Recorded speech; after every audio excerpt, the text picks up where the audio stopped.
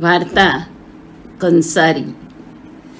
લેખક વિનેશ અંતાણી વાર્તા પઠન પુષ્પા અંતાણી. કમરાનો દરવાજો ખુલ્યો.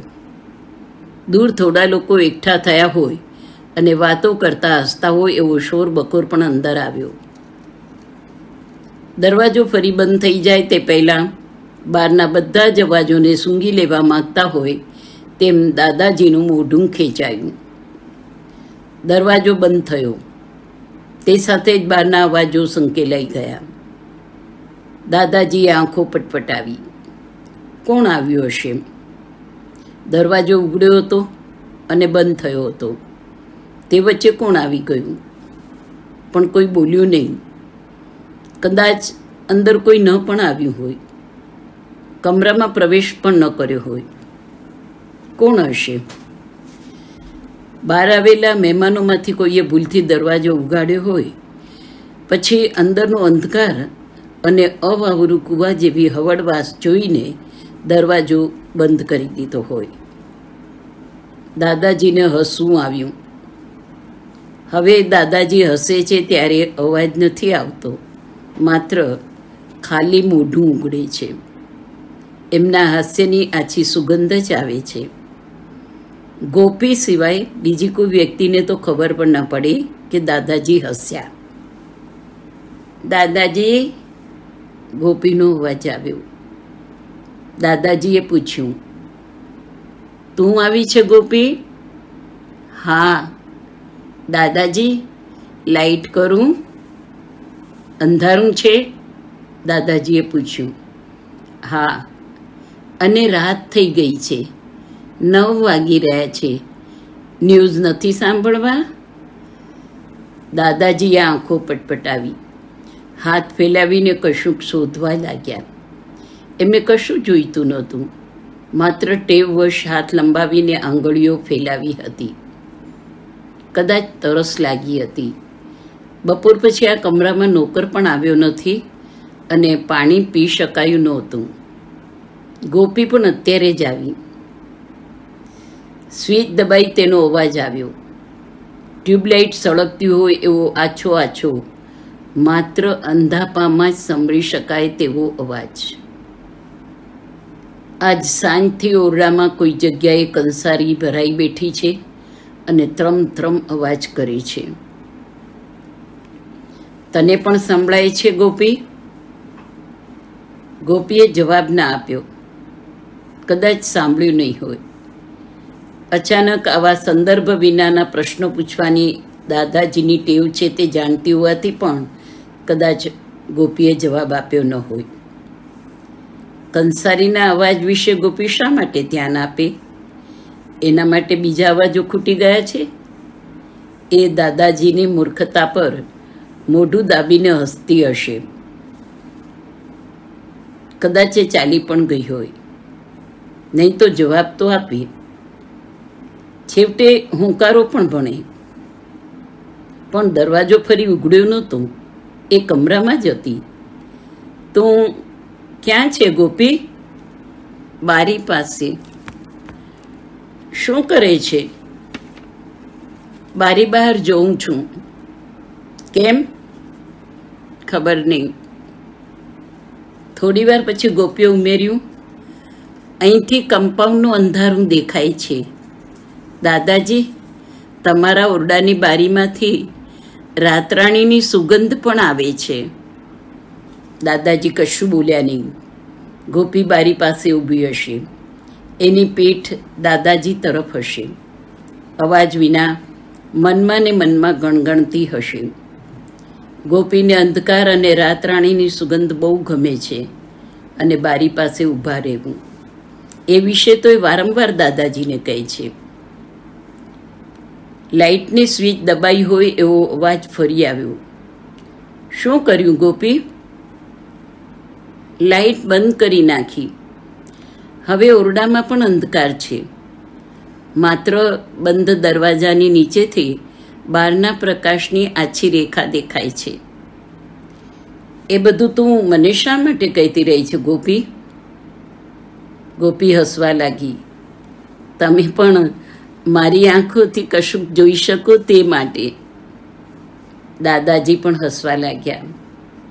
ગોપી હસતી હતી છતાં દાદાજીને વેમ ગયો કે એના હાસ્યમાં કશુંક ખૂટતું હતું.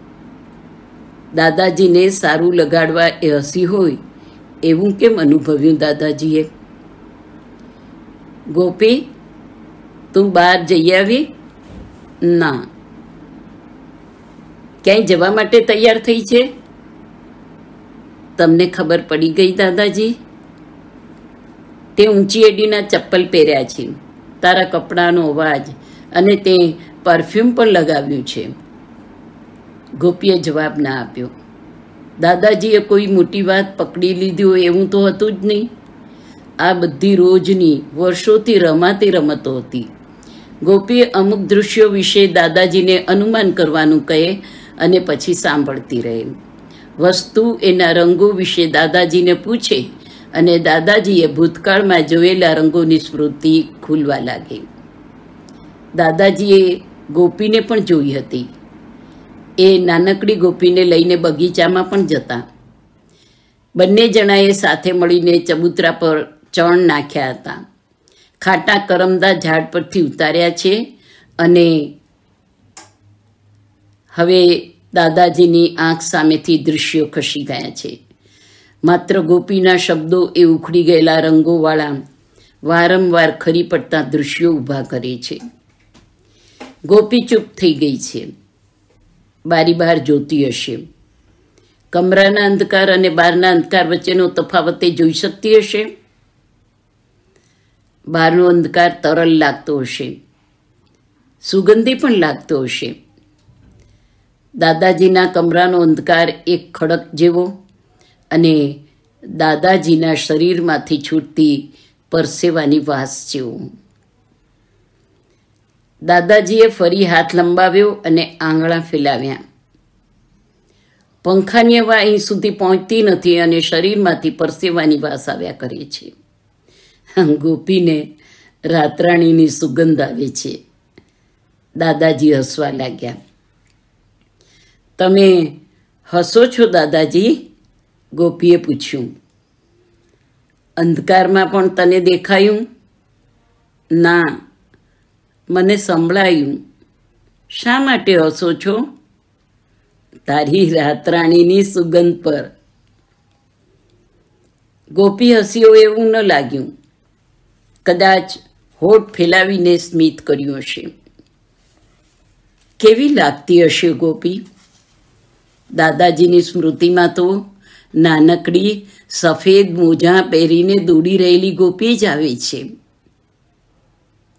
એક દિવસ ગોપીએ દાદાજીને પોતાનું વર્ણન કરીને બતાવ્યું હતું. હાથમાં રીસો પકડી, પોતાના ચહેરા વિશે, આંખો વિશે, ખંજન વિશે, પોતાના સ્મિત વિશે. સફેદ મોજા પહેરે છે હજી ગોપી? દાદાજીએ પૂછ્યું હતું.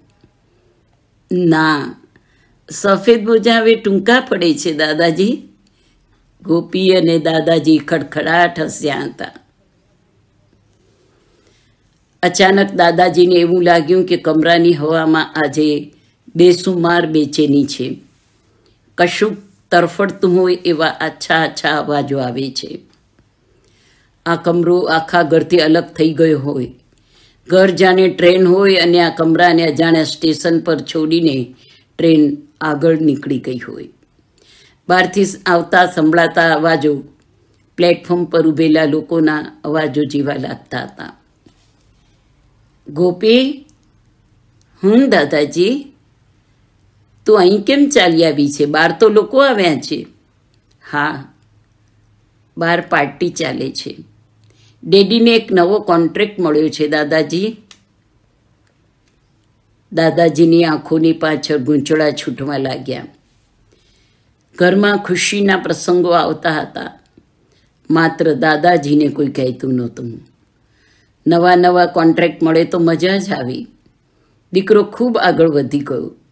દાદાજીએ નાના પાયે શરૂ કરેલા કન્સ્ટ્રક્શનનો ધંધો દીકરાએ ખૂબ આગળ વધાર્યો છે. આપણો બંગલો બહુ મોટો છે, દાદાજી.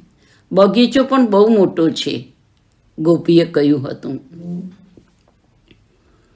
ધીરે ધીરે નિસ્તેજ થઈ ચૂકેલી નજર અને તે પછી તો સાવ અંધકાર ભર્યા દિવસોમાં જે કંઈ બનતું હતું તે વિશે ક્યારેક ગોપી વાતો કરતી અને દાદાજી સાંભળતા.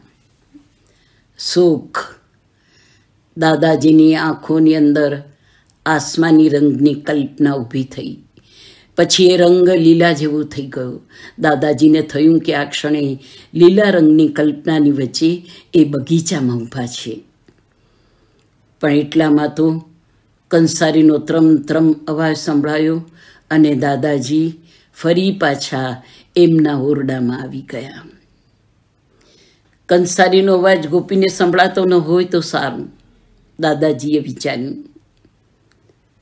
તમને ખબર છે, દાદાજી?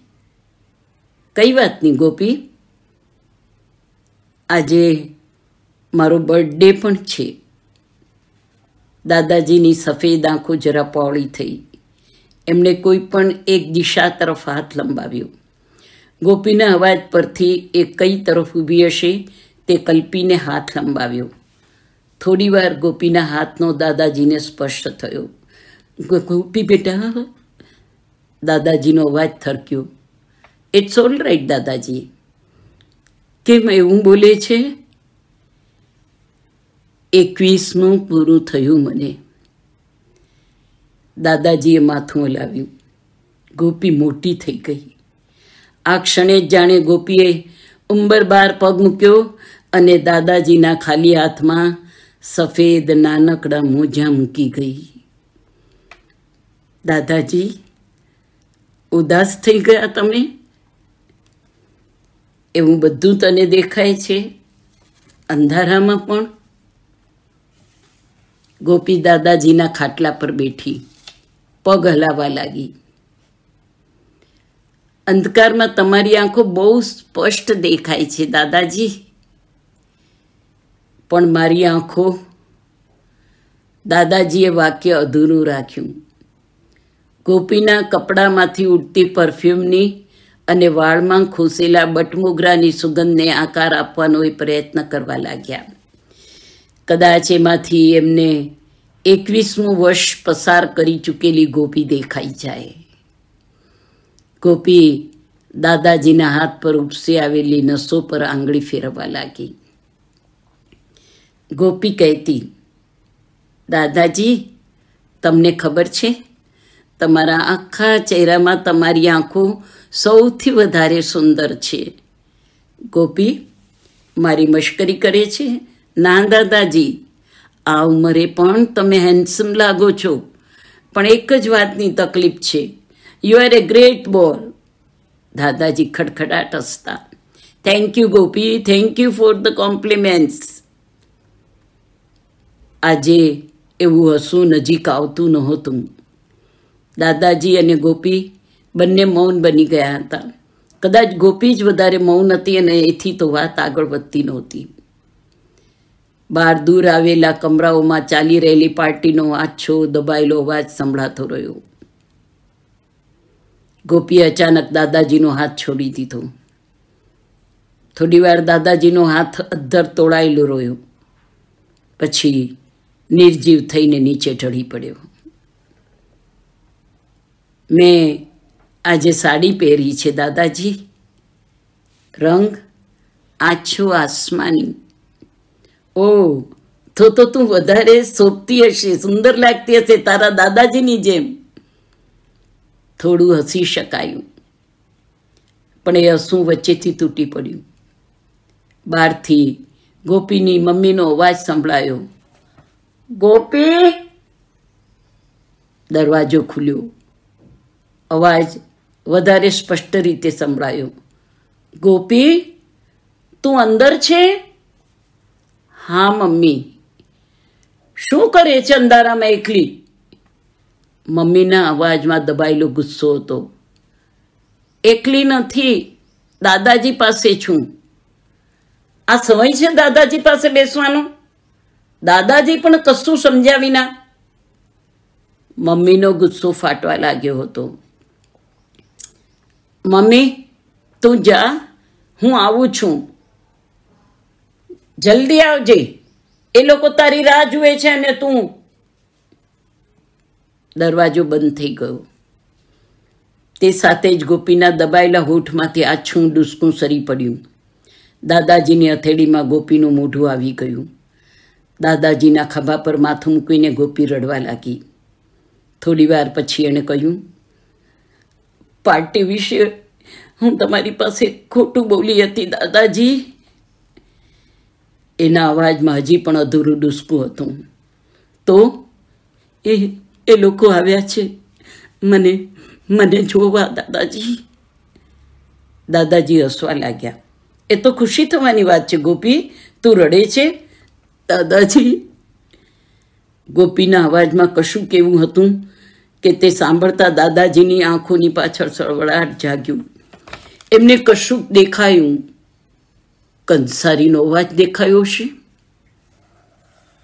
ગોપી બેટા, પણ દાદાજી, હું હું બીજા કોઈને બીજા કોઈને? આહા શું કહ્યું ગોપીએ? દાદાજીના કાનમાં ખેતરોની પાર થઈને આવતા ભીના, આછા આછા, મધુર સ્વરો સંભળાવા લાગ્યા. એ સ્વરોમાં લીલા ખેતરોમાં ઉભેલા અજાણ્યા પાકની સુગંધ હતી. શું નામ છે એનું ગોપી? પવન. તો પછી એમાં રડવાનું શું છે? કહી દે ડેડીને બધું. દેટ્સ ઓલ ડેડી ના પાડે છે. દાદાજી મમ્મી પણ ના પાડે છે. ઓહ, દાદાજીનો નિશ્વાસ સંભળાયો. એ સફેદ આંખે કશું જ જોયા વિના વિચારવા લાગ્યા. ગોપીની લાગણી વિશે જાણ્યા પછી હવાની જે સુગંધ મનમાં ઉતરી હતી તે હવે લૂ બની ગઈ. તારા ડેડી અને મમ્મીએ પવનને જોયો છે? ના. તે પહેલાં જ ના પાડે છે? એ લોકો એને જોવા કે મળવા પણ તૈયાર નથી. દાદાજીએ તકિયા તરફ શરીર ઢાળ્યું. એમની પાપણ ધ્રુતી હતી. ગોપી એમની સામે જોતી હશે. દાદાજી, તમે પવનને ન મળો? ગોપી બેટા, હું શું કરી શકું? તમે તમે ડેડીને દાદાજીની આંખમાં એક આંસુ તકતગ્યું તે ગોપી જોઈ ન શકી. પણ એના હાથ પર આંસુ ટપક્યું અને ચમકી ગઈ. દાદાજી બહારથી મમ્મીનો અવાજ સંભળાયો. ગોપી, તારી રાહ જુએ છે બધા.